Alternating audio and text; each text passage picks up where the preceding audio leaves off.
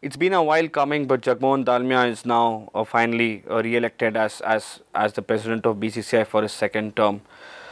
Uh, it happened earlier today when, when uh, the BCCI convened its AGM uh, after, uh, after six months. I mean, thanks to the Supreme Court case against Srinivasan.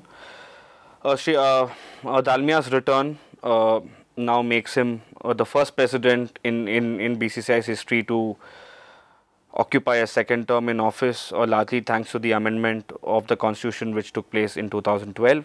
You know, the only thing that goes against him is he's too old. Uh, he's not in, in the pink of health. Uh, uh, there have been a lot of issues about his health over the last few years.